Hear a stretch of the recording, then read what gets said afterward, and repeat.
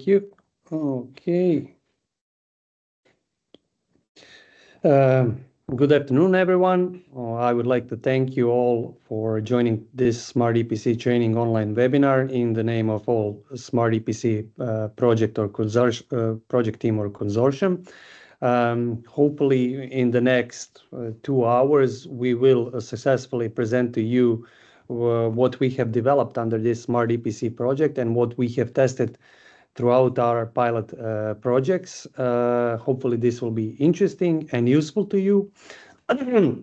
Uh, again, in front of REGEA Smart EPC mm, project team or training team, I'll be speaking. My name is Josip Cengija. I'm an expert in EPC. I'm a construction engineer, but my professional background is in uh, preparing in pre preparation, development, and management of alternative uh, procurement models, uh, which EPC is one of, and which we will talk about a bit more later. So hopefully, if you're going to have any questions or experience, I can help you with with some answers and maybe pointers or with my personal experience. Again, uh, so just to go briefly through uh, agenda once again. Uh, so we're to, first part of the training, we're to talk about Smart EPC. What is it? Um, as I saw, only one of you is considered himself to be an expert in the EPC. So it's to be useful just to maybe have a short introduction into what an EPC is, what alternative procurement models are, how do they differ from traditional models before we enter uh, uh, explaining what Smart EPC is as an upgrade to a standard EPC project. Uh, then we'll try to present to you a Smart EPC concept under which we have developed tools and documentation. So in the first part, we will just briefly go through the tools that we have developed in Smart EPC. And these tools are practically Uh, the tools that will help you prepare your project, see whether they they are feasible uh, for Smart EPC uh, model, and whether you can go on further in developing that project in this kind of way. We're going to wrap up the first part with Q&A, so feel free to ask me to ask us anything. Um, as I said, we have some experience, not some, I would say extensive. I've been working for the last 20 years in this alternative procurement model, so I consider myself to know and to have some experience, and that can be quite useful. Uh, then we're going to have a break. In the second part, we plan to tell you a bit more about standardized contractual documentation. Uh, we would like to present you mm, the other part of uh, deliverables of Smart EPC project, uh, which consists of the tender and contract documentation, which we have standardized and made available on our websites, which was told on the on the beginning of this webinar that those all of those deliverables, you can they are downloadable via link that was sent with uh, uh, invitation to this webinar. We're going to show you a bit uh, about Smart EPC cases, to be more concrete about a pilot project that was developed under this Smart EPC project here in Croatia, in the city of Karlovac.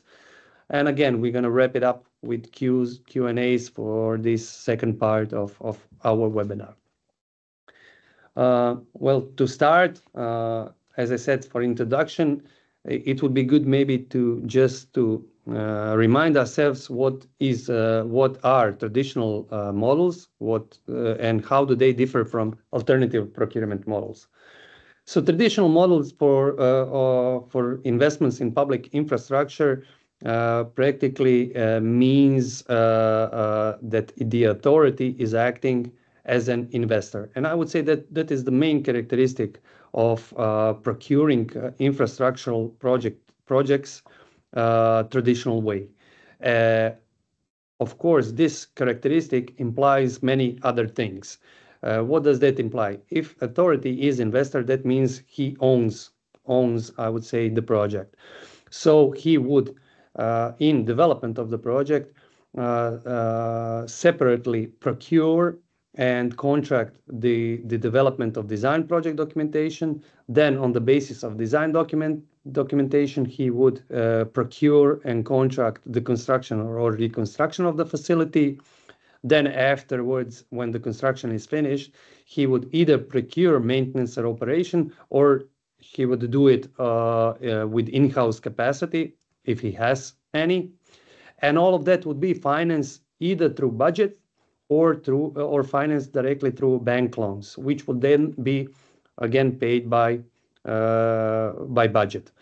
So, what, of course, what does that mean? Uh, if the authority is in the center and if it acts uh, like a, a, investor in the project, that means that most of the risks are uh, allocated to the authority.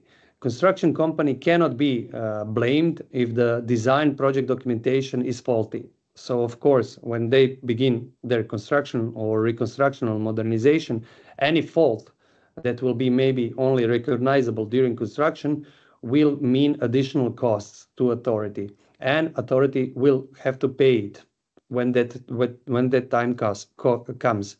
Whether authority can remedy some some part of that cost uh, from design company uh, that that has uh, developed design documentation that's a question to be answered uh, later on. But in most cases, in our experience, it, never comes.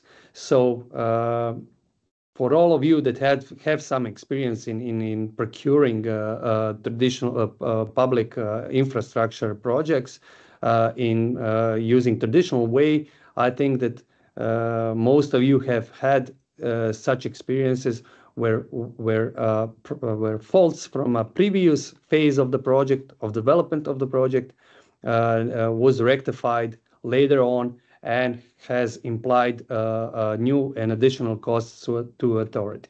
So this is something that's I would say widely used all over not just Europe but all all, all over the world. Why is that? Because it is perceived to be a simpler and a faster way to realize uh, project uh, to realize public infrastructure projects. Why is that? Because we have learned how to procure design documentation, we have learned how to procure construction, we have learned how to procure maintenance, and how to get the finance in traditional way. We have yet uh, to learn and to gain experience how can this be done differently and maybe in a in a more smarter and more efficient way. Opposed to this traditional model, uh, there are alternative procurement models. Um, so the main characteristic of, of, alternative procurement models is uh, shown practically in this in this graphics in this picture on this slide. So the main difference is that here authority has one contract uh, to one uh, specific contractor, a service provider that's usually uh, uh, being organized in one special company called Special Purpose Vehicle. So it's a special project company that's being uh, developed just and purely to develop this project and to provide services to authority. Inside that company, there can be a consortium of design companies, construction companies, maintenance companies, or one of them can take the lead and contract the other ones into into into their uh, uh, their project realization. Nevertheless, the main characteristic is that authority now doesn't have five or six separate contracts to manage its project. It has only one project, only one contract with clearly defined objectives. Of course, implications of that are numerous, but uh, first of all is that in alternative models, authority no longer acts as investor in the project. Now, in alternative procurement models, uh, the authority, and in our case, that would be municipality, city, or county, uh, becomes a purchaser of goods or services, not an investor. That means, what does that imply? If you purchase a good or a service, you only pay for a good or service that has been delivered to you. So that's quite different uh, than being an investor where all the costs and you pay for all the uh, the works or and all the equipment that has been brought into the project, of course. Whether those equipment and works will result in the in the outcomes that you have planned, that's a separate question. So if you are an investor, you are taking over the risks of developing your that of uh, development of your project that it will uh, at the end achieve the goals that you have started with. so it all looks uh, uh, quite great. It, it, it looks much more simpler than traditional ways. So why don't uh, we use it uh, more often? Why it's not used all around the EU uh, in, in, in many cases?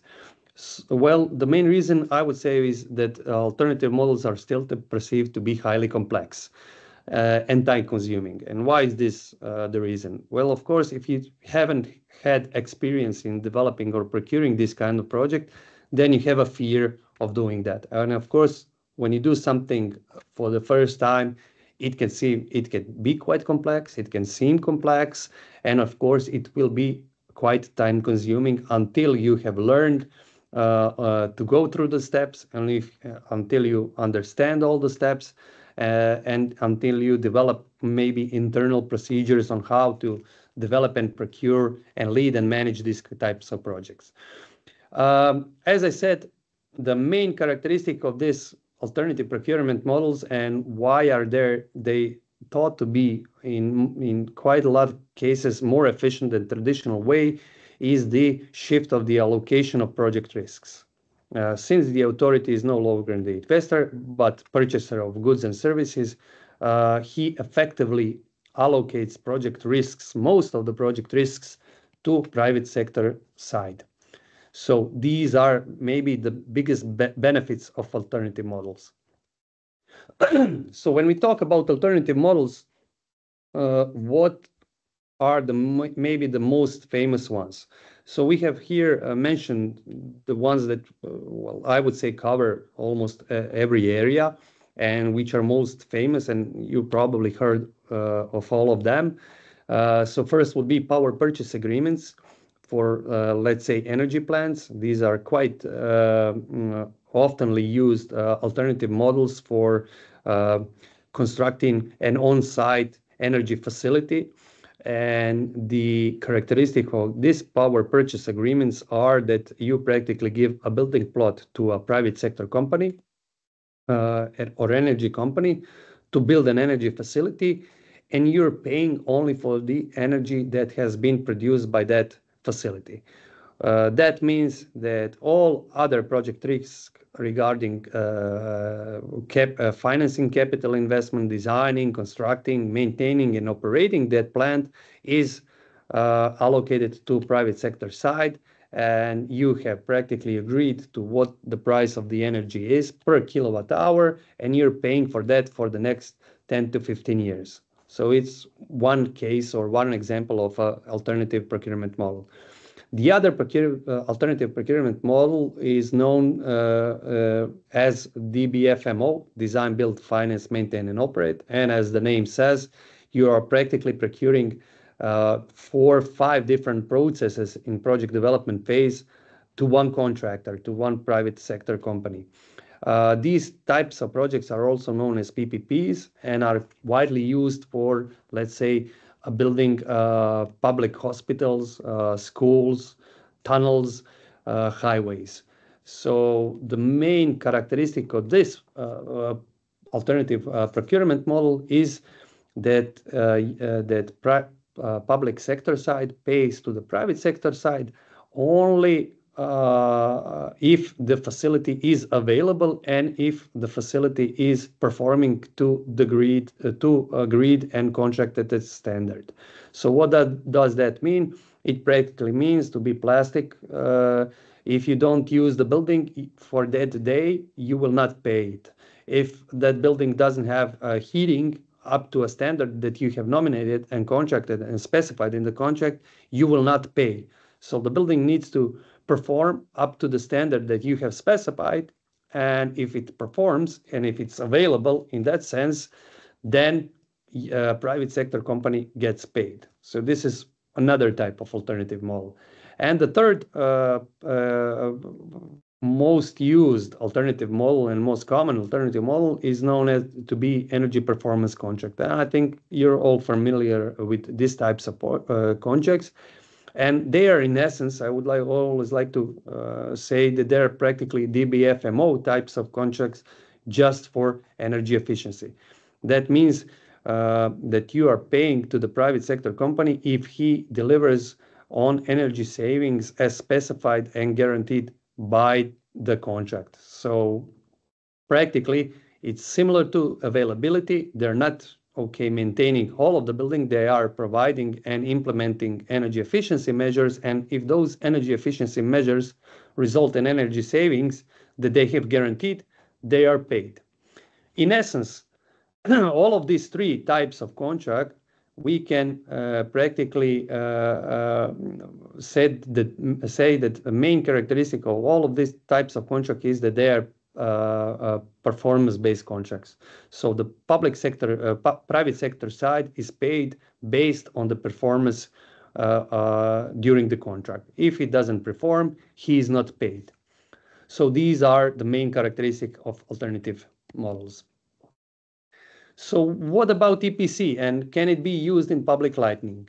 Uh, modernization of a street lighting system presents an energy efficiency project that is in most cases, uh, and I would say uh, almost in 100% cases, suitable for EPC.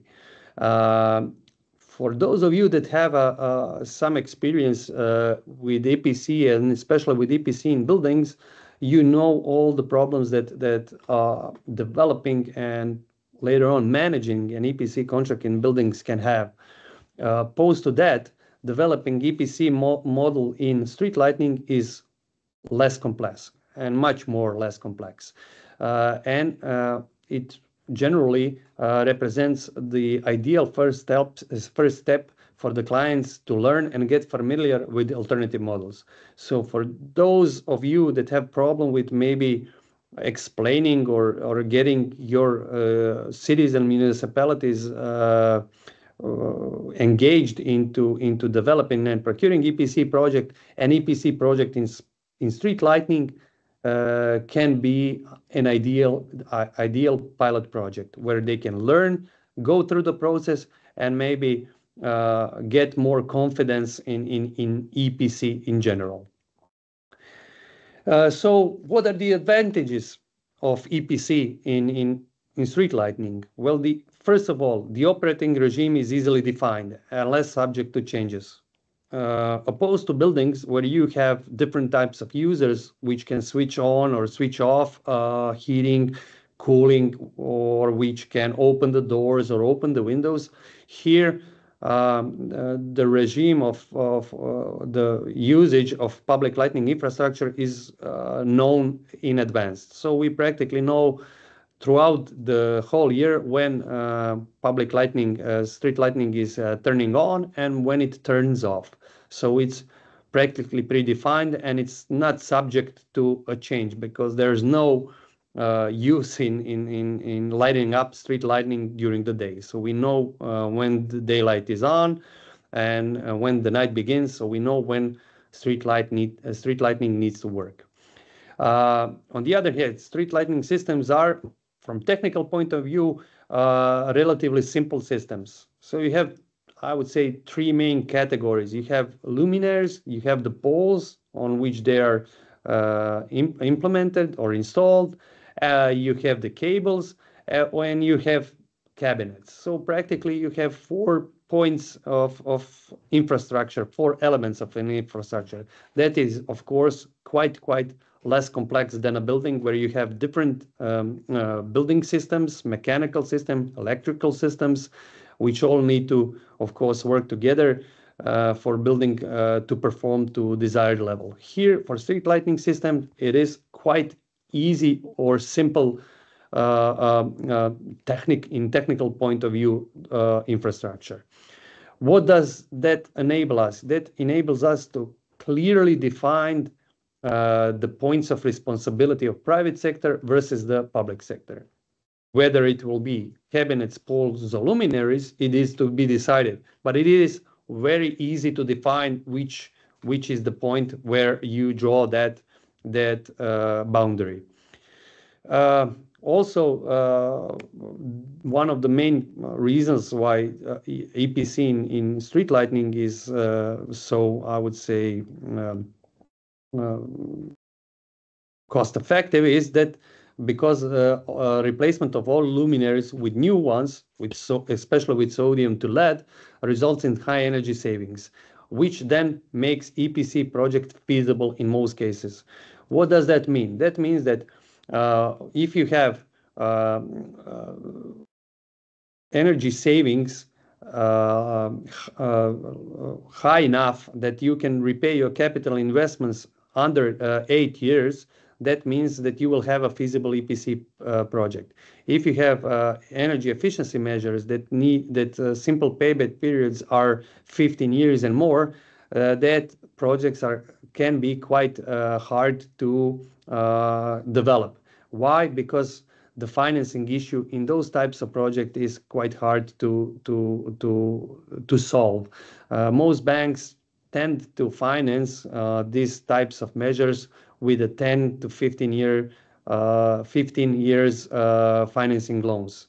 Anything longer than that is too long and would be quite hard to finance. So in the cases of EPCs in buildings, if you have some extensive measures that have longer simple payback periods, you would often need some subsidies in order for that EPC project to be feasible. Here in public lighting, that is not the case. Everything can be solely repaid out of energy savings. Um, another thing, uh, um, energy savings in street lighting are quite easy to monitor and control. Uh, so the energy consumption is quite easy to control. As we said, usage regimes are uh, familiar. You have practically one bill to pay. You can easily track and monitor uh, how much energy is being used solely for street lighting. It is also easy to monitor whether luminaires are working or are in default. Of course, every night, all the lamps go on, and you can see if some lamp isn't working. Uh, of course, uh, why is this important? Because you're going to have energy efficiency. You're going to have energy reductions if lamps are not working. Uh, so yeah, we need energy savings, but we need uh, infrastructure to be functional.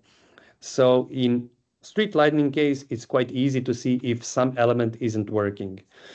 Um, what's quite important to say, and I think this will be uh, reflected to the questions we have prior to this webinar, and that's that um, additional savings in maintenance costs over the years can be used for upgrading other elements of street lighting systems and infrastructure. What does that mean? That means that when you look uh, at energy performance contracting, and if you're trying to develop an energy performance contract to be treated as off-balance sheet, so not to be counted on the books of public sector, Uh, one of the requirements is that it is being solely repaid out of energy efficiency uh, of energy savings. Uh, when we talk about energy savings, we are not talking about savings in maintenance and operation costs that also occur if ESCO company is managing that infrastructure for the 10 years. So those are practically additional savings you can use to maybe upgrade some parts of the of the infrastructure or maybe implement some new and additional uh, services into your uh, street street lighting infrastructure. So here we go to Smart EPC. What is it and what's the difference between EPC? Well, in essence, Smart EPC is trying to answer uh, to the questions, can we combine Uh, energy and non-energy services in energy performance contract to make it more attractive? So can we add some services to energy performance contracting services, energy efficiency services that we have standardly in EPC to make an EPC project uh, more attractive? Smart EPC project uh, that is funded through Horizon 2020 program is trying to answer this. And we have been developing and working on this project for the last three years. And in scope of the project, we have developed a Smart EPC concept, which consists out of development of Smart EPC tools and standardized project documentation. We have then uh, tried uh, to test these concept tools and documentation through six pilots, two in Spain, two in Poland, one in France, one in Croatia, which we're going to show later on, in order to test these concept tools and documentations and to see and to answer these questions that we have uh, that we have started with. So can we add additional services? Uh, so what does that mean, add additional services? We are trying under a single contract to blend reconstruction and modernization of public lighting systems with other energy and non-energy services that use in some way use public lighting infrastructure, such as which are the services. We have identified services such as smart city applications, 5G communications, e-charging uh, as the main services uh, that are available on the market today. When we talk about uh, those services, we can divide them between non-energy service and energy services. Of course, non-energy services would be smart city applications and 5G communications because those services will use energy and uh, will not sell energy, will sell uh, a service that has nothing to do with energy savings or energy consumption. So we call that services non-energy uh, services. Additional to that, an e-charging service is, of course, an energy service. It's a service that is not resulting in energy savings, but in energy consumption. But nevertheless, it's a service that you can use uh, with public public lightning infrastructure, that you can use public lightning infrastructure to provide to uh, to citizens um, in your municipality. So it's an energy service. Then again, the other way how you can split those additional services is uh, uh, if you look if they are they are commercial or not. So we have split them into potentially commercial services and non-commercial services. Potentially commercial services would be e-charging and 5G concessions. Why? E-charging service, you can uh, you can practically charge end users for the consumption of the energy. So it's a service you provide to them. Uh, 5G concessions is uh, practically a commercial service because you're providing concessions to to communication companies, and they pay some fee for that concession. So it has a commercial basis. Uh and then opposed to that, we have non-commercial services, which practically most of the smart city applications consist of. Smart city applications practically provide added public service. Uh, they enrich public services that are already uh, provided to the citizens. And they have, in most cases, uh, they don't have any commercial basis to it. So it's an additional cost that city or municipality will practically invest into providing a better public service. As I said earlier, uh, Smart EPC concept developed under Smart EPC project practically consists out of a set of tools and documents that will help cities prepare and procure Smart EPC projects. Uh, Smart EPC tools practically consists out of three different tools: Action Plan Draft, Excel tool for calculating energy savings, and standardized template for detailed energy audits. While Smart um, EPC uh, standardized contract documentation consists out of tender documentation and contract documentation. Standardized, developed, and quite detailed, uh, prepared for cities and uh, and facilitators to amend to their specific project needs.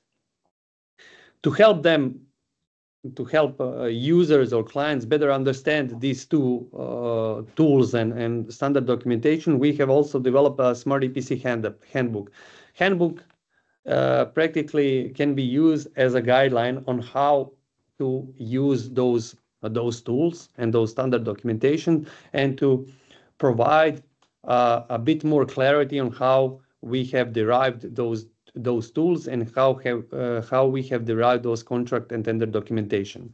We're going to see uh, later on what is all included in standard EPC uh, handbook, which is all available uh, at Smart EPC websites, which you can practically have links to following the Energy Citizen web web pages and which you have had the chance to go through. We had the chance to see the link in in introduction or to in invitation for this online webinar.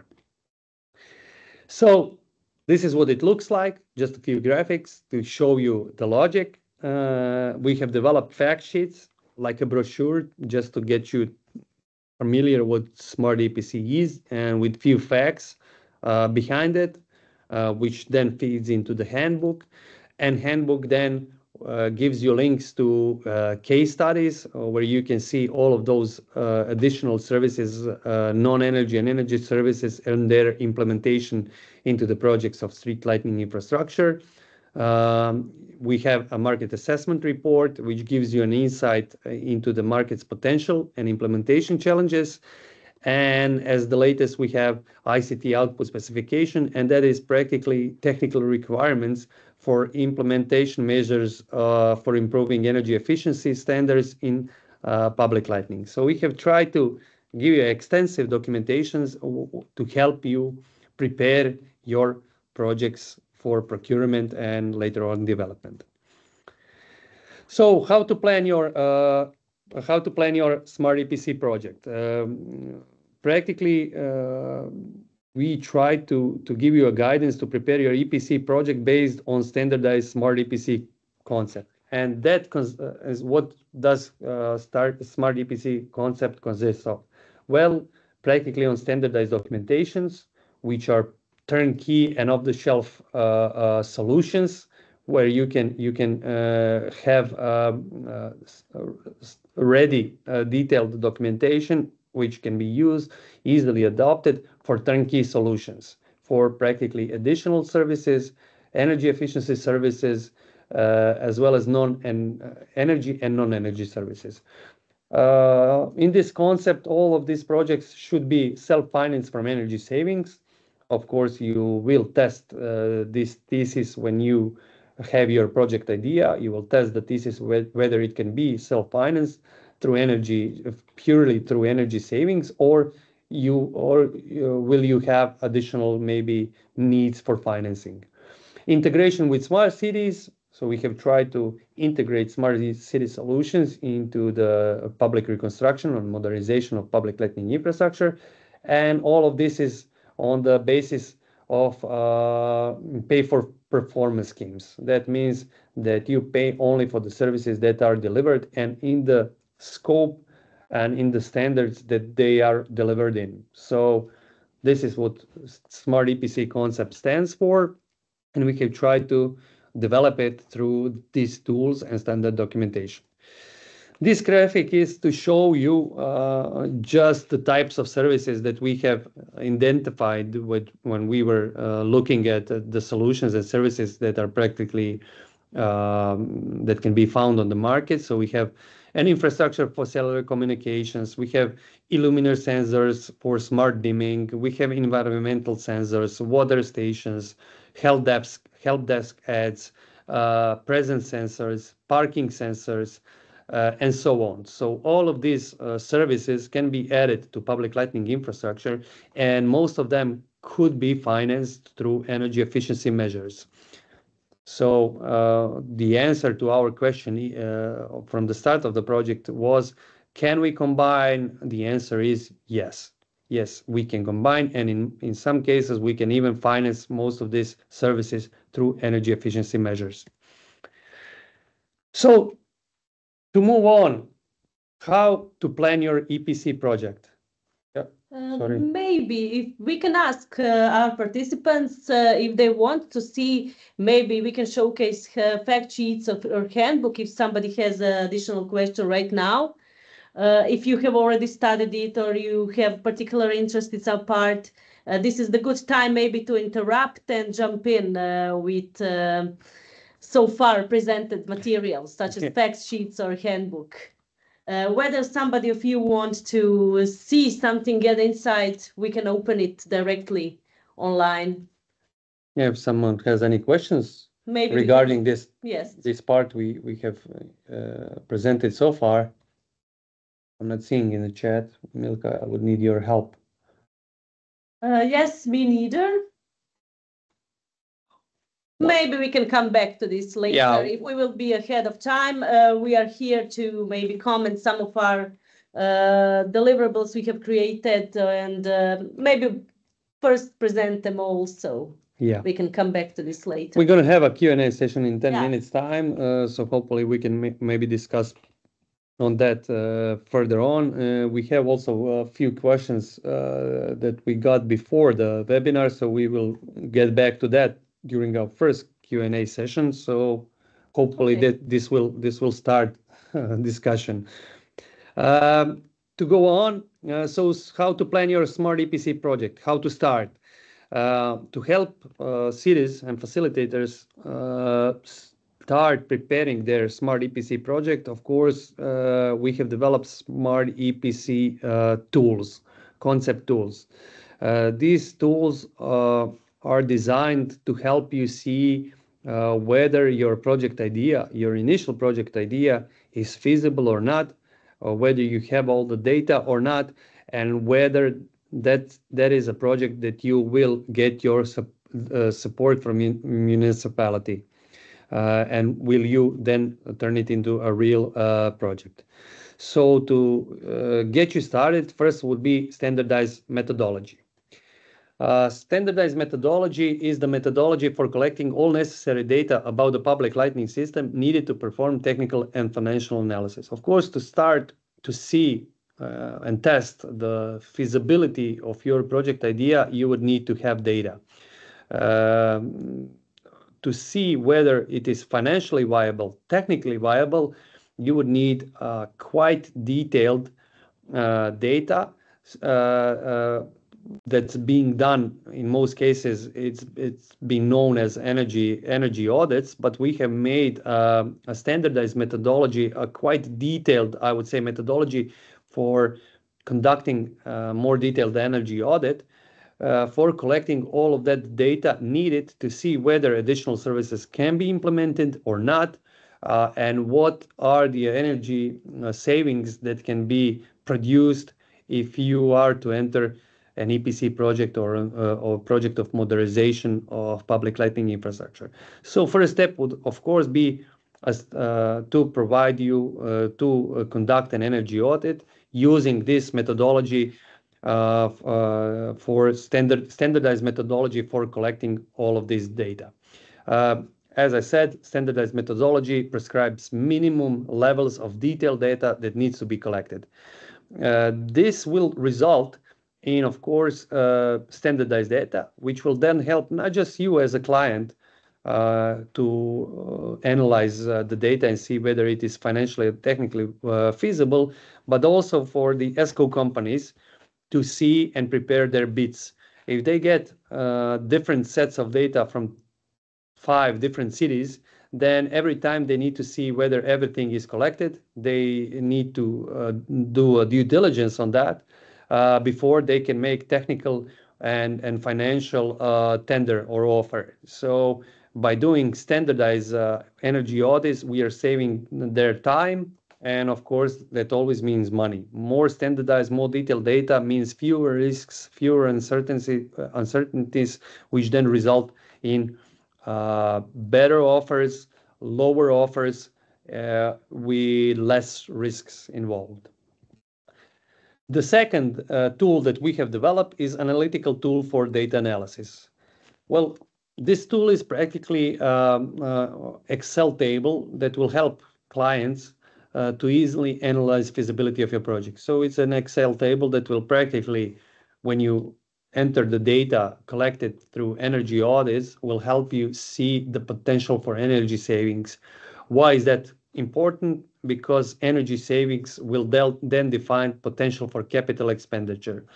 Uh, of course, uh, if energy savings are high enough, and if you got a feasibility of a project, or if simple payback periods for pure reconstruction of uh, street lighting infrastructures are from five to six years, then there is potential in adding some non-commercial services, That means something similar to smart city applications. So those services that have no commercial potential, but are uh, can uh, bring added uh, value to your project. Then you would have additional space for including or implementing those services and included that capital expenditure into your project. Later on, I will explain what does that mean for off and on balance sheet treatment. But no matter Uh, whatever the case uh, would be, uh, you would have, of course, place in your budget to repay those additional capital expenditures if if you have enough of energy savings. Um, it is also important to say that energy savings will vary not just depending on the changing of the source of the luminaires, so LED to sodium or something else, but also to the management of public lighting systems, so including um, dimming regimes, whether predefined or uh, automatically uh, dimming uh, regimes or automatically automatic dimming services can add additional energy savings to your um, to your initial calculation. So have that in mind. These additional services can boost your energy savings uh, for 20%, for additional 20 or 30%, um, calculating or summing up to a total of even 70% of uh, 70 and even more percent of initial energy savings. And for the last uh, concept, Smart EPC concept tool, we have to present, we have developed an action plan draft. It's just a draft, Uh, uh, practically a word-based document that helps you structure your, uh, I would say, a plan, project execution plan in one document. Why is it important when an action plan practically Uh, describes what you plan to do, what is the goal, what is the purpose of you entering this project, what are the goals you are trying to achieve? Uh, it then um, uh, helps present to city officials or even citizens. It is, in most cases, a public document. Why you have chosen to go alternative procurement model? Uh, why is that the optimal financial model for realization of your project? So we practically, uh, I would say, uh, represent how have you come to the decision to go along and go forward with this project execution. Um, in our case, it's quite useful to have an action plan. It's quite useful to make this document to go to city councils and to gain wider political uh, will for project because uh, then uh, it is um, there is less chance that your project will be terminated if there is there are some changes in in in city city political city officials, if there is change in in policy of of the city. So in essence, Uh, to gain wider political will is of importance uh, in these types of projects because you're dealing with public infrastructure, because these projects are quite visible to to citizens. And since they are visible, they, they're quite uh, often very interesting for citizens and, of course, the political party that's leading the city at that moment. Um, That's that uh, regarding the first part of this presentation and webinar. Uh, hopefully, you understood and I have uh, successfully introduced what Smart EPC is and what are the concept tools that we have developed under Smart EPC project. As I said earlier, you can all they can all be found via link that you have that you can Uh, find in the invitation to this webinar. Uh, and I would open a Q&A session before the break. Do we have some new questions? We have some questions already. Uh, question first, how to synchronize production and consumption without power sharing, but in island mode? Yeah, I think that that's a question maybe for PPA types of project, not an EPC or for EPC in buildings. Synchronized production and consumption without power sharing. Well, that's a question that's quite, uh, I would say, uh, quite uh, often we can find when dealing with PPA projects of installing solar power plants, PV modules on rooftops. The answer is if you have a management software, management software, energy management software, and if you are in a position that you can practically manage your production of the facility, that it doesn't influence your functionality, then you can maybe uh, synchronize production and consumption. But in other cases, in most of the cases, you're going to use battery or it's some some kind of storage systems uh, if you are to to to practically uh, synchronize those those those two lines and be in island mode and not use uh, the grid connection for for managing or storing energy. So as I said, this is maybe more for the PPA types of projects, but um, hopefully I I have answered your question. It is quite hard to synchronize those two those two uh, lines, production and consumption, and it's not uh, uh, always possible. Second question, proper understanding of the EPC. Does EPC mean that all ESCO remuneration is to come from savings generated by the project? Yes, that's what EPC stands for.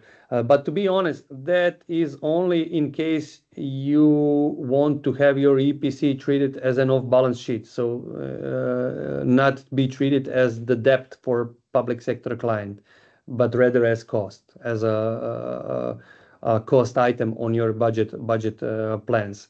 If if EPC cannot be paid out of energy savings, that doesn't mean that you cannot contract it. You can contract it, but the remuneration paid, the EPC fee paid to the service provider would will be bigger than the savings he produces. You can also do that, but in that case, your project will be on balance for your public sector client. So there are no uh, rules on on whether you can do EPC or not. And I would uh, strongly advertise that you always use EPC, no matter if it can be repaid out of energy savings or not, because as we said earlier, EPC is in general a performance-based contracts. And I always advocate that you would try to procure and try to contract services uh on performance based uh on performance basis. So if the service is not delivered, do not pay for it. Yes, uh, one of our participants shared his experience that the answer in question two in Poland is no. Okay, uh, so we have, yeah, question three, the impact on EPC on public debts. Can the debt uh, provided by the banks be fully protected, or must it be deductible from the EPC's remuneration like all other remuneration components? It must be deductible. So um, there are various ways how banks can protect themselves. They can give a debt uh, uh, which can be, let's say, let's say protected in a way that you practically uh, use guarantees provided by ESCO companies. So if you have payment reduction to made to ESCO companies, you do not deduct the debt, the part of the EPC fee that is used to service the debt, but you directly Uh, remunerate uh, the fee from ESCO company. There are some cases like that. Uh, the documentation that we have developed does not use that that model. We have used the model. We have gone from the facts that ESCO company is the financiers, and we we as a public sector client have nothing to do with with banks. So banks finances not public sector client, but an ESCO company. And if ESCO company, if there is a fee reduction uh, so great that it will go into the depth of the that's being given by the bank to the ESCO company, then ESCO company have, has to guarantee for that uh, by other means. So there is no direct link in our standardized documents. Uh, there's no direct link between the bank or financiers and and public sector client.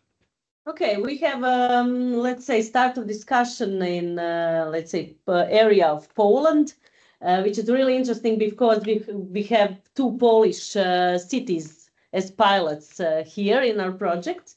Uh, feel free maybe to join the discussion. You can ask the question without um, just typing. May maybe we can discuss this based on your experience in Poland. Uh, what uh, feel free to maybe share your experience uh, as i can see uh, you have uh, experience with such projects. So maybe to share which uh, barriers you have met. Just a, a comment for the, this question too. In poland we have energy efficiency act and it regulates considering risks and the scheme for payment between uh, EP, ESCO company and public, and this is connected with uh, what is EPC, what uh, could be the debt, and so on. So it's not so so simple, but this is maybe this is a specific regulation in in Poland, so it works like that. Yeah, uh, we we are aware of that, uh, and our colleagues from Poland are practically commenting on that, and this will be uh, something that we will reflect on in our final documents. This project is still ongoing, and in during our final reports and the, the documents that we will amend, we will reflect on that to see how these standardized documents that we have developed can be changed and how it fits into national legislations.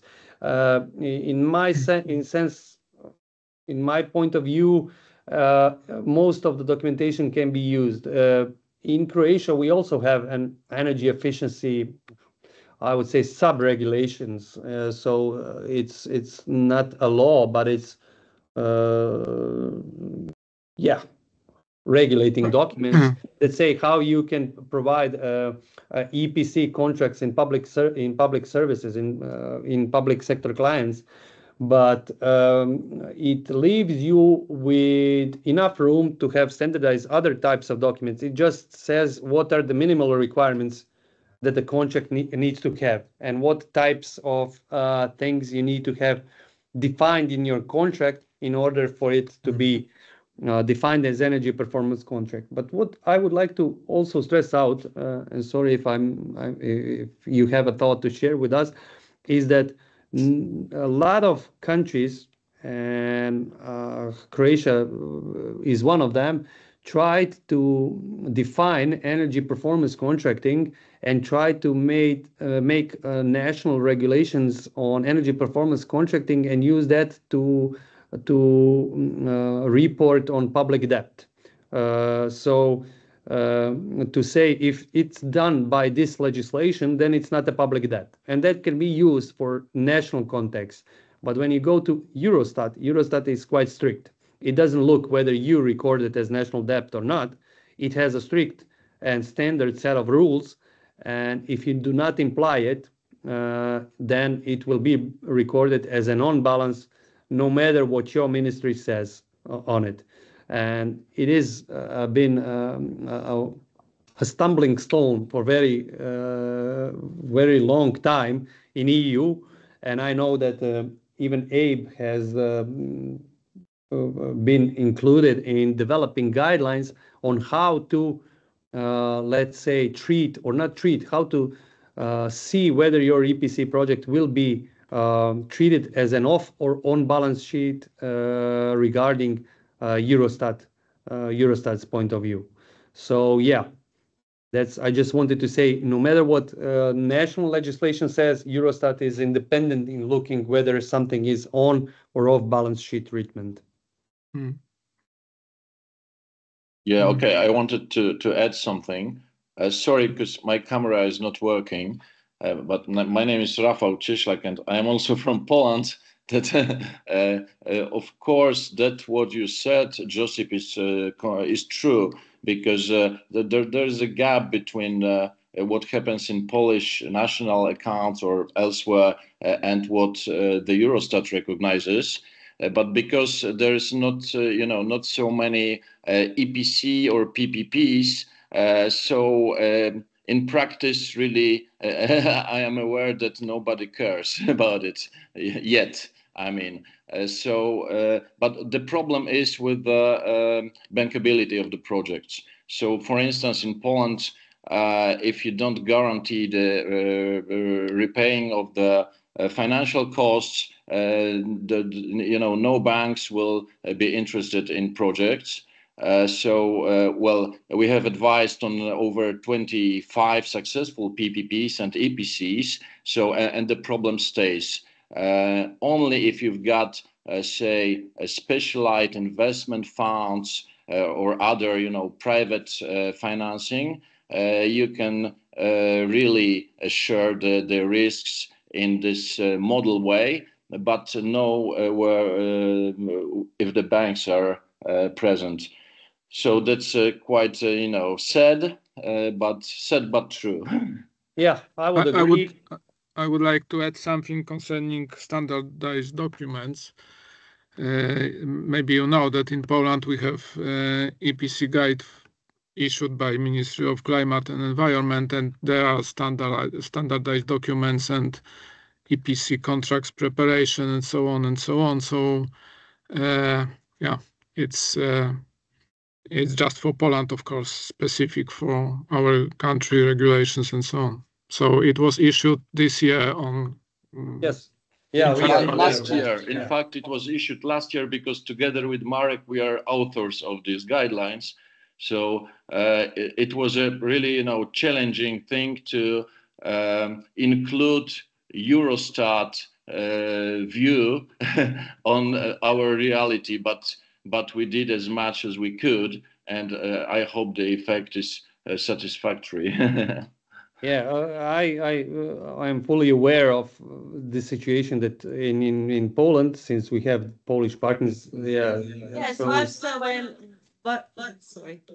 Uh, Warsaw and Kraków are partners in uh, Smart EPC, so we are aware of those guidelines as they were also used when we were drafting and making our documentation more standardized. So first we had, let's say, um, a great version of standardized documentation, and after those guidelines uh, have stepped into force, we had to make the second version, let's say, because Uh, new barriers arise. So yes, we are fully aware of that. Yeah, and I just wanted to to add uh, um, this problem that you were mentioning on financing uh, EPC projects was even bigger than before for the last six or seven years because uh, financing uh, for the public sector clients was at the lowest levels. Yeah, so if we had inflation and we had budgets that are going that are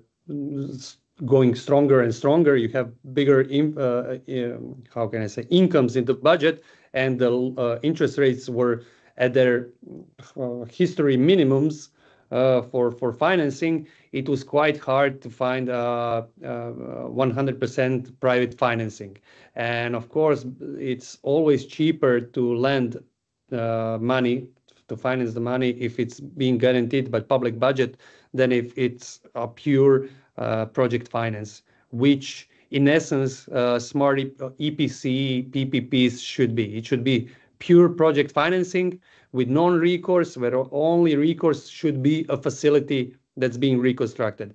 In our case, in ideal case, uh, ESCO company should be, I would say, a company with experience and with some leverage. So uh, it could provide guarantees to the banks uh, uh, that the project will be delivered in scope that is contracted. And that's, of course, theoretically such so, but in practice, as you said, it was quite hard to to get the financing for the project to be not feasible, but to be maybe um, uh, competitive to public financing. Because if you get loans that are 3% of interest uh, higher than what you could get uh, when you take the public loans, then all the efficiency that you would gain through through better better procurement of the project or less capital or costs or less maintenance costs would be lost due to higher finance costing. So yeah. Yeah, sure. We are we are uh, uh, waiting for the case study from Kraków. So maybe we could discuss it later because, uh, again, we've been advising on this big Krakowian street lighting project now. And I have just agreed the text of the EPC contract with the bank that will finance it in practice because of the uh, some preferential issues. And uh, uh, and of course, the project, the contract is now bankable, but it will go into public debt in the meaning of Eurostat, of course, not in our national meaning. Yeah. Yeah. Unfortunately, just uh, to give you a heads up, uh, while we present case studies, we will only present uh, in short Karlovac and our special this Poland pilot cases we are preparing for for the later on seminars ah, because, yeah, we we have been waiting uh, for information on that due to the facts that you have mentioned that you had new energy acts. And we know that these are the reasons why these projects were a bit late uh, opposed to initial initial plans. Because uh, as I am aware, Kraków and Warsaw should have been already contracted and procured one year ago, I think, were our initial plans. No, no. Kraków is ahead of the uh, schedule, and Warsaw is not doing EPC. So, uh, well, maybe we can discuss it you know like later or something. Later. Uh, so yeah, we have we have gone through our initial plan. Maybe just to um, remind the participants that we have one-on-one sessions. So maybe we can propose Polish session, let's say, with our own partners. Yeah, and I would be. Can uh, we are available for joint uh, meeting on Polish, um, yes, Yeah. Uh, region or. And especially we can comment on Kraków because I know Kraków went or or thought of going PPP way, then EPC way. So I know that there was some thinking about how what would be the. No, we do it in an EPC way only. But but it's another story so we can meet and discuss the the problem some other time. Yeah. Great. So Christian, if you uh, agree, I'm going to take the lead since we have uh, gone over the time, uh, maybe to have a 10-minute break um, before we start part two of the session. And we're going to have 10 minutes time for Q&As after part two, of course. That's great indeed. It was important not to cut the conversation that was created by by the participants and you. So let's meet. Uh, you can please, all, to all of all of you, stay connected. Do not leave this meeting. And we we meet uh, here at 3:20 P.M. for the second part. Okay, thanks. See you in 10 minutes.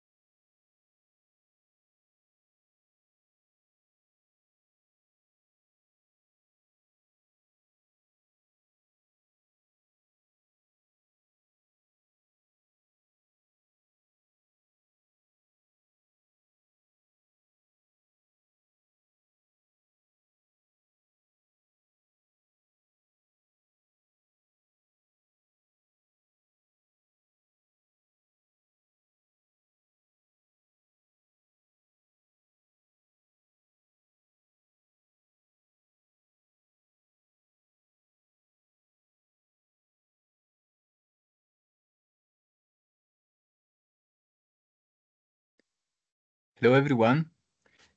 It's 20 past 3, and uh, if you are ready, we could start again for our second part of the presentation. Uh, yeah, I'm ready. Hopefully everybody's here. Just a second. Okay.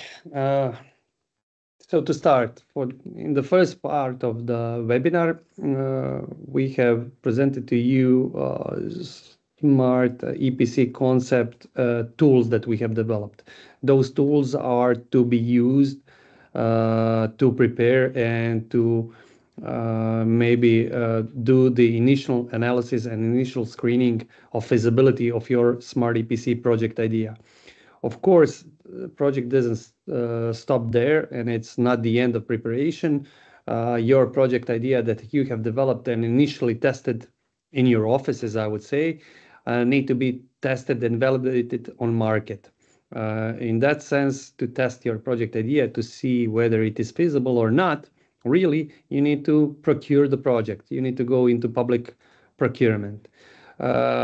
In order to help cities um, and municipalities and of course facilitators uh, prepare that project documentation uh, under smart EPC project we have developed uh, standardized contractual documentation.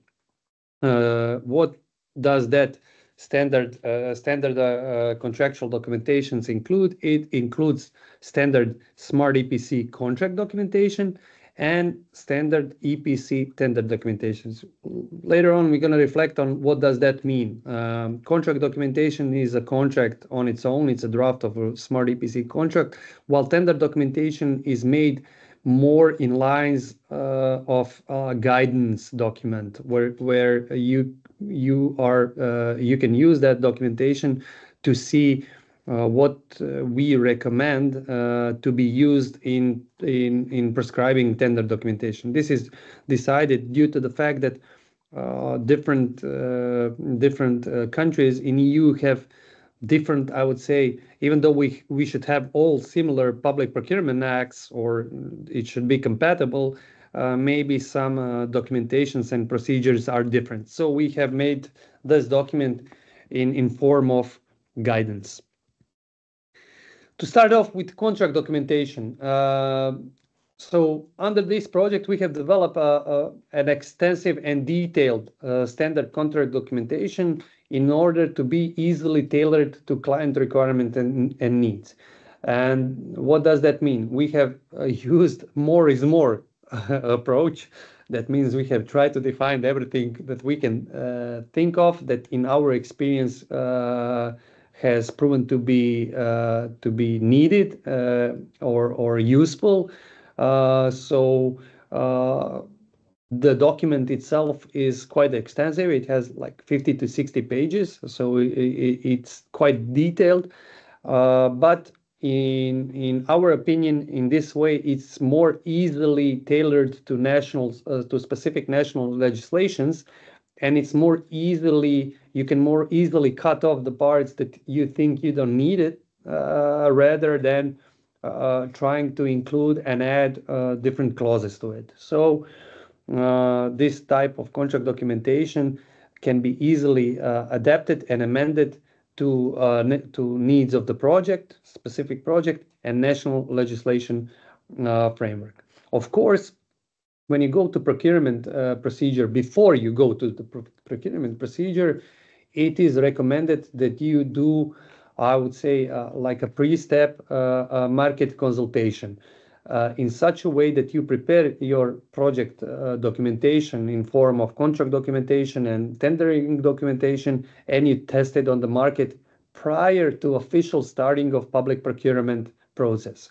This is due to the fact when you officially start public procurement procedure, then you have uh, uh, procedures and, and ways of communications that are strictly defined by Public Procurement Act. And in some cases, it might be hard to uh, communicate in such way with, with uh, potential ESCO companies and potential tenderers. So uh, in our case, and this has been our experience, and we highly recommend it, we always try to send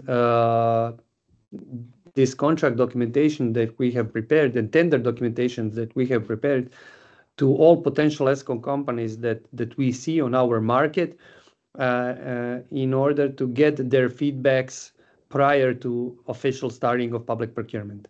Uh, also, we have sent those public Smart EPC contracts to financiers, to local banks, to see uh, what are their uh, views on that, whether they are ready to finance these types of projects or not. Uh, again, from our experience, that proved to be quite oh sorry, that proved to be quite useful because then we could have meetings with banks, official meetings with banks where we get to sit with their risks department and uh, argue on uh, whether some uh, some things are needed in project or not. And I must say, in most cases, when when we discuss on that, it has led to to them understanding that some of the guarantees that they expect and maybe in standard projects are required, Uh, that they don't need it here. So yeah, it is quite hard to prepare a Smart EPC project. There's a lot of communications, uh, communication included with various stakeholders, but this is, I would say, a must-have step, uh, must must-do step if you are to have a successful EPC project. So any conclusions, whether to adapt or amend uh, contract documentations, uh, are to be uh, drawn after stakeholder workshops and market consultations. And that is our warmest um, recommendation that you do that. Um, in general, the concept, how we saw our standard Smart EPC contract, it is structured in in such a way that there are three types of investments under one contract. So we have a standard EPC. So that's an investment in energy savings due to modernization of public lighting systems. So that is investment of energy efficiency measures. The second type of investments are investments in energy or non-energy, non-commercial services.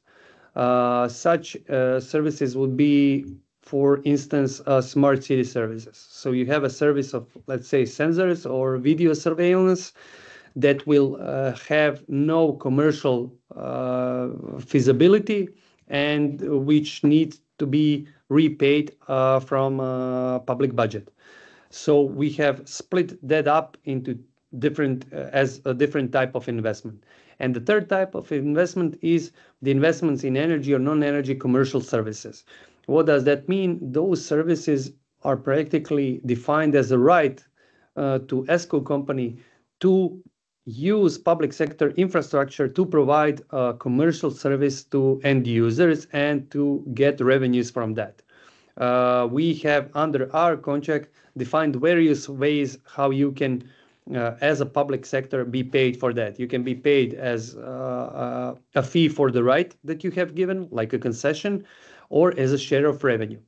But in a sense of public debt, and this is something we talk to, uh, these types of investment, and these are three types of investments, they are different and they should be treated differently. So you're going to have one contract that maybe a part of the investment can be treated as being off balance sheet, the other part being balance sheet, and then the third part being also off balance sheet because it is practically concession-based investment. So yeah, it is. it seems quite complicated, mm, uh, and it is quite complicated. But at the end, as I said, if you do it, uh, uh, if you define, if it's all specified and clearly you can divide these three types of investment, then you can report on them differently. Um, as I said, this approach was decided due to the fact that different types of investment will have different accounting treatments. And what's also quite important to stress out that management of the public lighting system is, in our case, in case of standardized contract documentation, completely left to authority or the city. why I'm stressing this out? Because this is a question that we was quite oftenly asked. Uh, we were quite oftenly asked about that. That how can we uh, manage and oversee uh, ESCO company? Uh, uh, how will ESCO company manage um, uh, a streetlight infrastructure? Because if we give them um, if, the, if we give them power to manage street lighting uh, infrastructure, and if they need to provide energy efficiency services, everybody says, and which which is logical, that ESCO company will then dim the lights to the lowest, and of course use uh, all of all of possibilities to to make this this uh, energy savings be as high as they can be. Well, to not lower the functionality of street lighting infrastructure and to obtain the standard minimum to what authority needs, we have left the management of the public lighting system when it goes on, when it goes off, and will it be dimmed and how much it will be dimmed to local authority. Now, having said so, uh, there is a question on how can we define then energy savings. Well, energy saving, we have linked energy savings with monitoring of active powers of components.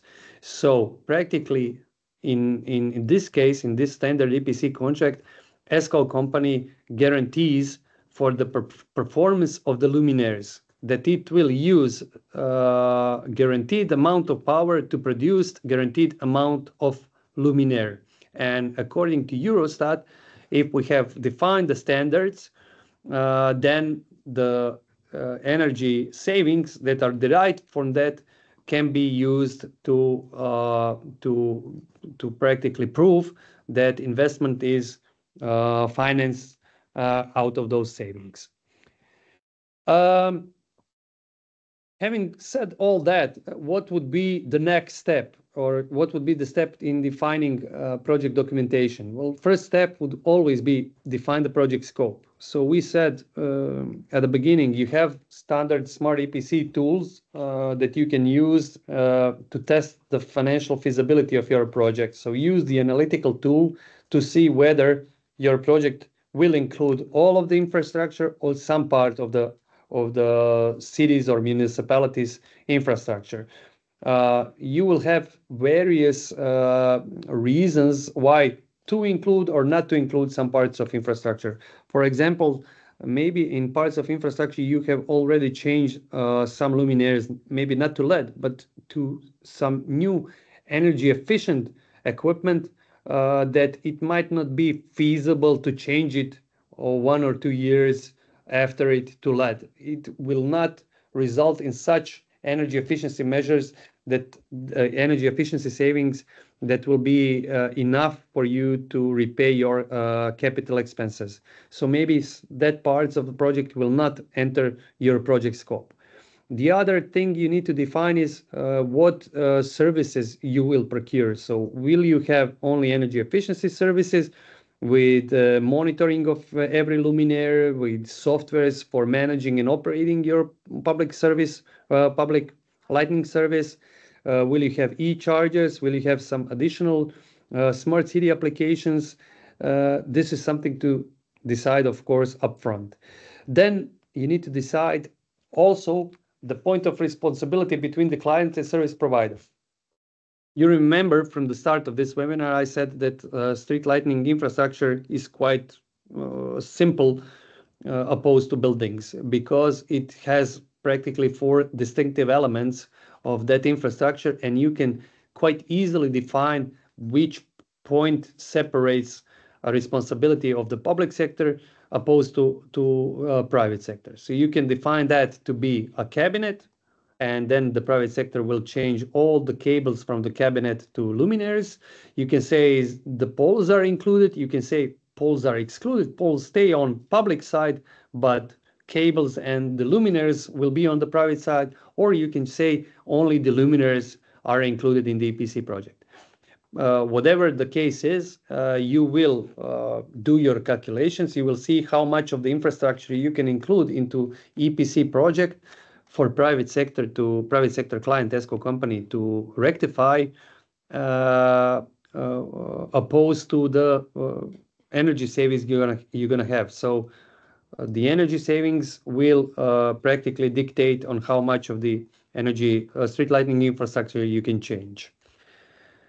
So that will be uh, step first. When we have decided on all of these questions, the other thing, the other part of the project, Smart EPC contract documentation that you're gonna use are technical requirements. It's an annex to Smart EPC contract, standard draft contract, where it practically uh, defines uh, not technical requirements, but technical restraints regarding the services.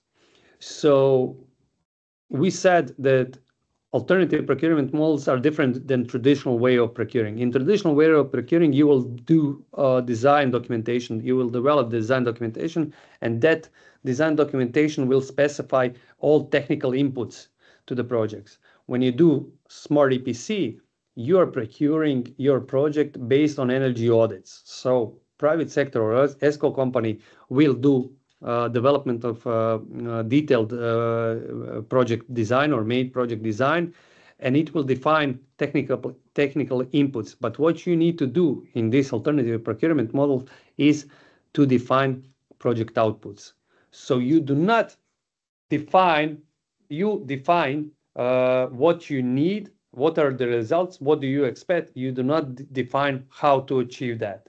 How to achieve that is the question that ESCO company needs to answer.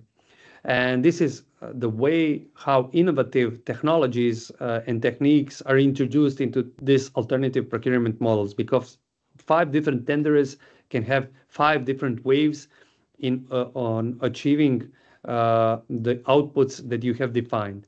And uh, quite often, public sector clients uh, were wrong uh, thinking that they knew better than market, which is the most optimal and most cost-effective way to achieve the outputs they needed. By this way, you practically get market-based and market-tested answer to your question, which is the most effective way for your outputs to be achieved.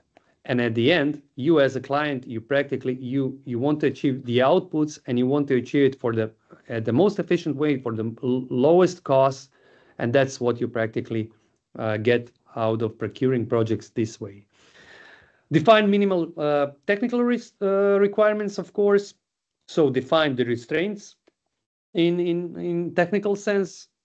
For example, define if you have some softwares, define uh, minimal requirements that software has to be compatible to other software. So, uh, ESCO company can know if it uses different software, what is needed for that software to communicate with already existing software.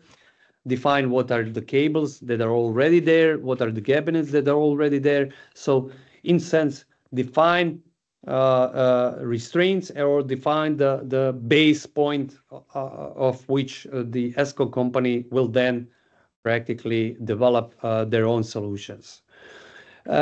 Also, what is important, not to forget that, you need to define how you will monitor progress and fulfillment of the contract. So you need to have clearly, uh, you need to clearly state how you will progress uh, how you will monitor progress, how you will test if the if your outputs are have been achieved, uh, in order to avoid doubtful situations where you can raise doubt, and you can have maybe disputes between you and the ESCO companies on whether they have fulfilled their key outputs or not.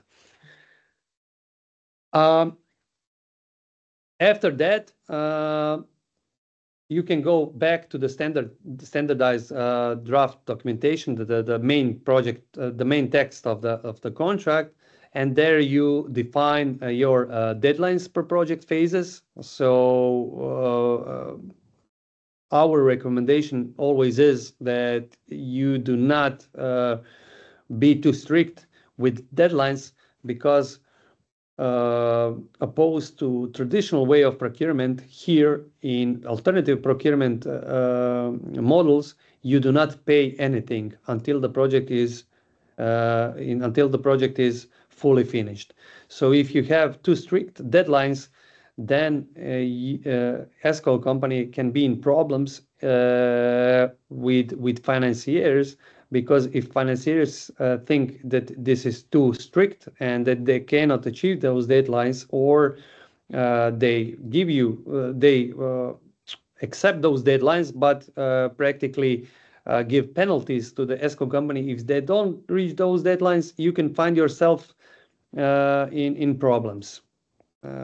So have in mind that in this case the investor is ESCO company the deadlines needs to be rational and reasonable and that they are not paid until they provide service. So you have no project costs they invest everything and the first money or the first income they see is when they deliver the project. So be rational be reasonable in defining project deadlines. Do not uh, shorten them too much because you will make project to be too risky to finance Define risk allocation, of course. Uh, be aware that uh, when you go to market consultations, uh, you will find yourself in situation that ESCO company and financing uh, institutions will often try to shift some of the risks back to you uh, uh, in discreetly this or or in such in such way that maybe you do not notice uh, upfront, but every change in, risk profile of the project uh, means that it can be uh, report recorded from off balance sheet to on balance sheet. So any any changes of standard EPCs documents that we have developed in such a way can make your project go from off balance sheet treatment to on balance sheet treatment. So be quite quite careful when you do that. Define the rights and obligations of each party. Of course, that's something that's that's normal in every contract. Uh, try to be as more detailed as you can be, uh, but try to have in mind that this contract is something that's being written for 10 to 15 years and every contract that is so long it's similar to to marriage it needs to be flexible enough because it, if it's too stiff, uh, it will uh, end up in a disaster. So have that in mind. Uh, uh think about uh, all all the problems that can rise uh, throughout the project implementation and try to to write obligations in such a way that they are clearly defined who is obligated to do something but if when when talking about penalties for not doing something, try to to be reasonable. Uh, we have uh, done initial uh, definition of these rights and obligations throughout uh, sm our smart EPC contract documentation. I think they're quite detailed, but if you see that there's some additional things you need to define, uh, you can add that to standard uh, contract clauses. Um, define payment mechanisms. Uh, also quite quite important, uh, payment mechanisms practically relate to the way uh, how you pay your EPC fees. So they are linked between paying the fees and delivering services to agreed standard.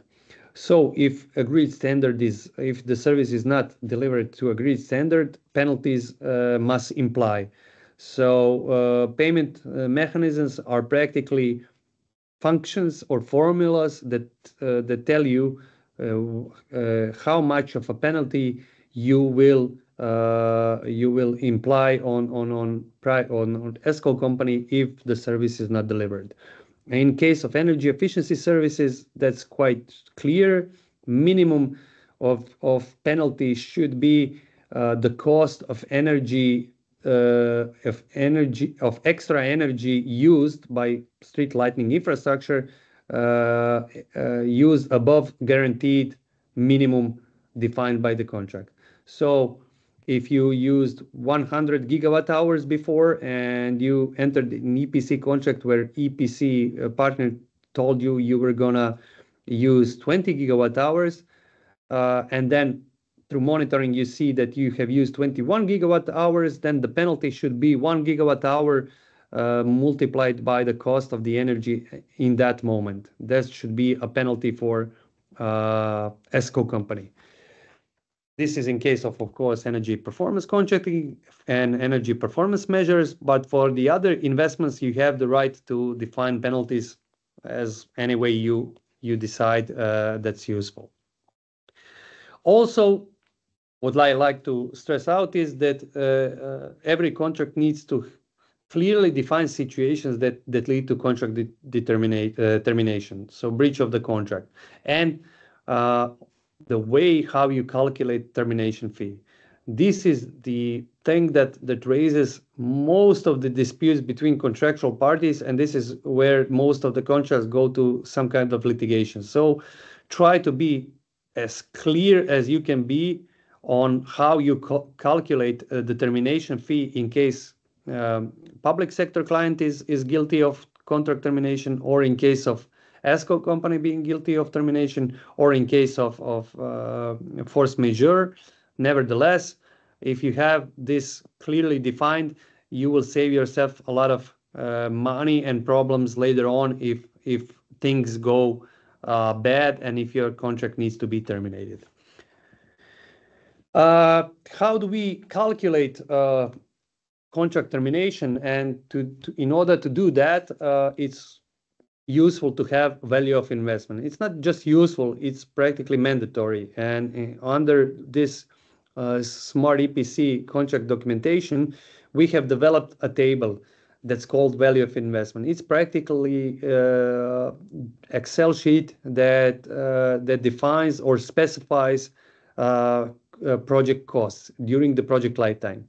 So we have project costs in the in the project reconstruction phase, and you have project costs during the usage phase. All of these costs must be uh, nominated by the tenderer, by the ESCO company in the tendering process, and must be defined in the years that they happen. And out of those costs, uh, they must calculate the fee. So the fee must be clearly a result of the costs that are nominated in the in uh, the value of the investment sheet. Uh, what does this uh, bring? What benefit it brings us? Well, if you have that, then you can practically quite easily define and calculate the termination fee. In this value of investment, we have financing costs also, as well as a cost uh, of uh, private equity. So practically, that would be not the income, but the profit that is expected by the ESCO company. So if the contract is terminated for uh, due to the fault of public sector client, you will know what is the lost revenue or lost profit that you need to calculate in your termination fee. And in this way, it is proven to be case in in, in some of our experience. Uh, this really uh, kind of opens eyes to public sector clients as well as to private sector clients on what will happen and what to expect if contract comes to termination. And in our cases, uh, in many ways, in many situations, contract sides have tried to amend the things that led to a situation where the contract could be terminated in order to stay the contract alive, because at the end, if contract is terminated, everybody loses. So it's always good to have this um, clearly uh, and uh, quite easily calculated. How investment value looks like, it's a cost, as I said, it's practically cost specification, but it's not traditional cost specification because we do not Uh, define uh, works or uh, by measure of, we do not quantify works by, let's say, working hours, but we just have cost categories. So for example, we have the designing approval and permits costs, and we have just the cost categories, and we have like a turnkey solution. So we have expense for that whole item. This is due to the fact that we in Smart EPC practically contract turnkey solution. There's no uh, more or less works included in these types of contract. So this is just uh, uh, an example, few pictures on how this value of exact of um investment looks like. And as you can see, out of those value of investment, practically total fee and annual fee and monthly fee is calculated. And you can see financing costs are separately uh, shown.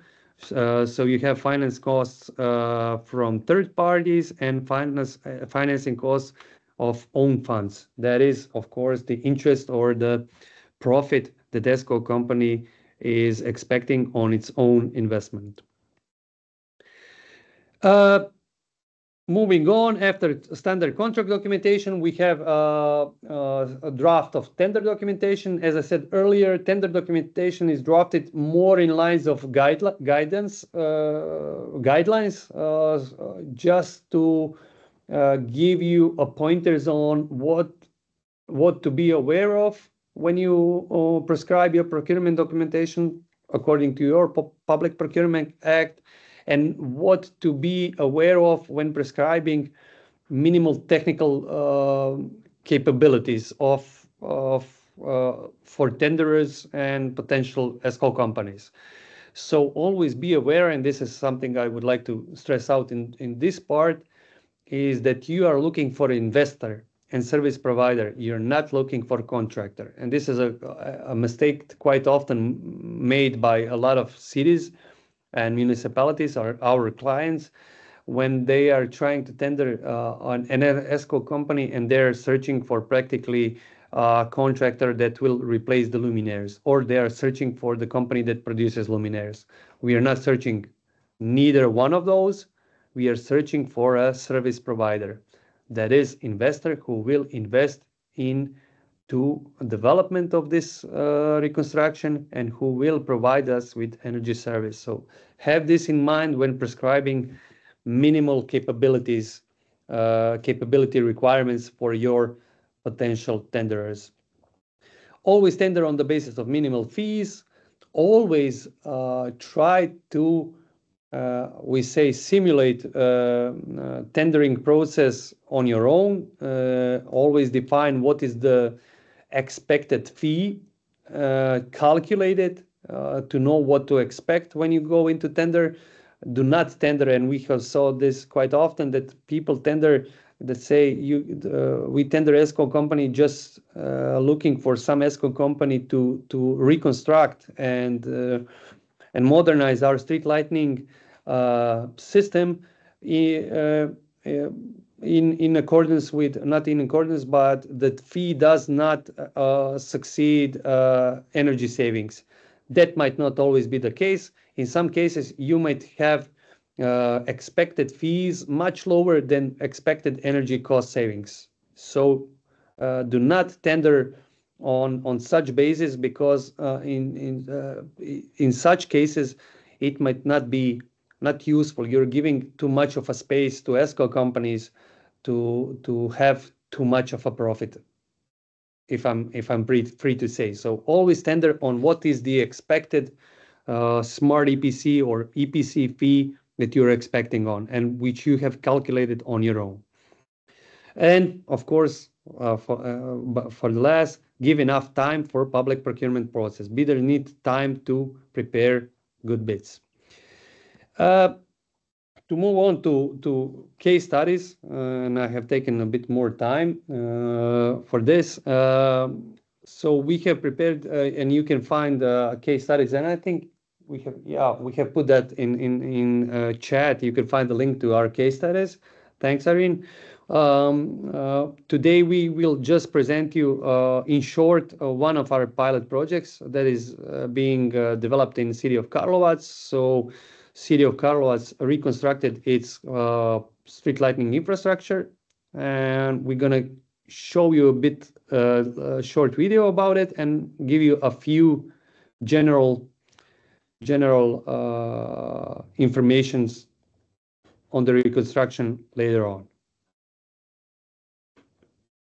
So hopefully you can hear. Anything from a city on four rivers, Originally built as a fortress, it is known today for its green parks, rich history, and beer industry tradition.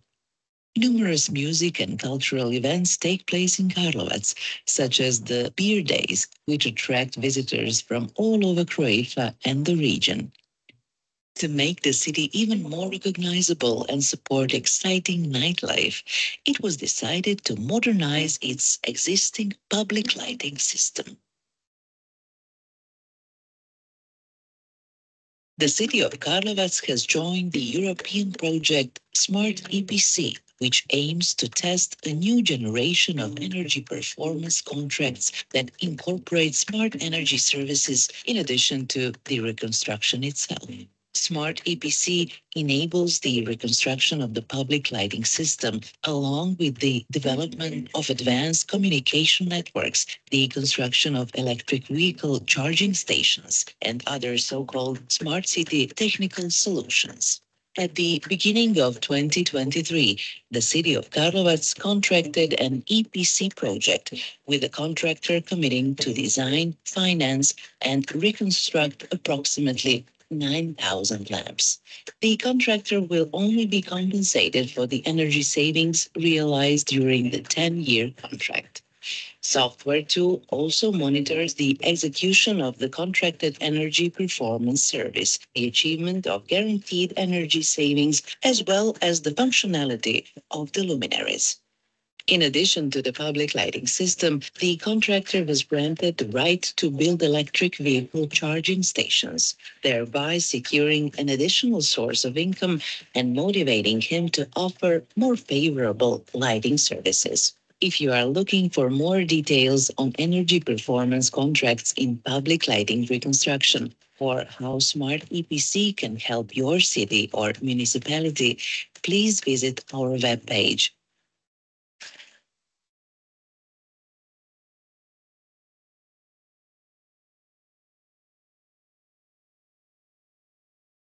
Well, hopefully this was interesting to you. We are quite uh, proud of this of this uh, pilot project. Uh, of course, we have tried and tested uh, um, a smart EPC concept uh, in city of Karlovac. So practically standard project documentation was tested as well as concept tools. And as you saw, some of the non-energy and energy uh, services were also tested. In conclusion, uh, so just a few facts on what has been done in city of Karlovac. You have seen the the, the video. Uh, we have replaced uh, somewhere around 9,000 uh, luminaires. Uh, this is not uh, whole of the of the city of Karlovac public lighting infrastructure, but it is most of it. Um, monitoring and management of every luminary was included. What does that mean? That means that every luminary is communicating with a central management system. Uh, so you can practically switch on and switch off every every luminary. You can uh, monitor uh, its energy consumption, and you can see whether it works or not, whether it is functional or not. So everything is seen on this uh, via this software, which is included into the service. Uh, communications and center management system included, as I said, uh, that includes also software that practically calculates on its own uh, EPC fee. What does that mean? That means that uh, city can say that a luminary is malfunctioning and it will report that uh, throughout the system. And if it uh, luminary is not uh, rectified or changed in specified time, then automatically penalty is being calculated for uh, ESCO companies. So practically this system is is is giving a calculation of the EPC fee in in real time and automatically. Public lighting cabinets were uh, reallocated and reconstructed. Uh, sensor-ready luminaires are implemented. So even though smart applications are not implemented at this at this moment, uh, city wanted to have uh, luminaires that are practically uh, sensor ready and that's what uh, um, ESCO company has implemented. And possibility for implementation of integrated e-charging uh, points on predefined poles. Uh, just to be clear, you saw this um, e-charging point in the video, and this is just to illustrate uh, the possibility that ESCO company has. So it is not uh, uh being implemented yet, but we have um, given a possibility that during the project lifetime, this can be uh, it's a service that can be uh, provided by ESCO company to the to the citizen. Uh, just a small info on the numbers. Estimated CapEx for this was 3 million euros. OpEx was around 0.8 million euros. And as expected, annual savings in electricity costs were around 760,000 euros. For all of that, uh, city has uh, City has get got the offer from the ESCO company uh, for EPC fee of 677,000 euros. So as you can see, fee is significantly lower than expected energy savings. And additional to those electric energy savings that city will have, we must add maintenance and operation uh, savings that will round up uh, this annual savings to almost 900,000 uh, euros. So there's a quite a lot of, I would say, meat for city to use those additional savings to rectify and modernize other parts of street lighting service or to, of course, implement smart city applications. As I said, what we learned, e-charging service, uh, uh, we wanted, of course, to test it. We wanted to see uh, we see we see this service as being commercially viable in in near future, and we wanted to test this. But at this moment, it has been shown that that market conditions are such that this day it is questionable whether that e-charging service would bring any additional revenue. So, uh, in order not to present too much of a risk, we have defined that service provider can, in next 10 years, have the ability or right to implement these e-charging services if they and when they become uh, viable. So it's it's a right, not an obligation. And if that right is to be uh, used by a service provider, then a revenue sharing uh, model has been defined in the contract uh, instead of the fixed price for the for that right uh, mm, uh for that right to be paid by ESCO company. So this is our example. This is what we learned Uh, in developing and testing this pilot project. Hopefully, this will be useful to you. Uh, as I said, there's numerous possibilities, and we think that these possibilities and services will become commercially viable in the next few years, even though at this moment, uh, they have proven not to be additional, I would say, additional benefits in revenue sense to the project. Nevertheless, Uh, all of these services can be included into standard EPC contract documentation. Uh, I have uh, come to an end. I just would like to welcome you all to see all of these deliverables. You can all download them from this Smart EPC website, which you can find on Energy Cities um, sites. You can download all of this standard concept and standard contract documentation, Um, as well as, of course, contact all of us uh, that are working as as partners in uh, Smart EPC Consortium.